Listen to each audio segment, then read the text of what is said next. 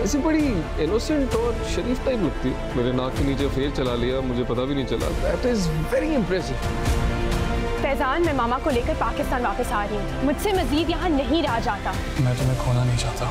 अगर तुम मुझे छोड़कर चली गई तो मर जाऊँगा मैं। जैसे झूठे और धोखेबाज शख्स के मुँह से ना ऐसी बातें अच्छी नहीं लगती हैं। उसने सबको चकनाचूर कर दिया। पैरों में रोंद के चलेगी मेरी इज़्ज़त। शादी के चंद रोज बाद जब तलाक लेकर घर जाऊँ तो क्या वो फूलों से इस्तकबाल करेंगे तुम्हारा नताशा को आग करने का फैसला कर लिया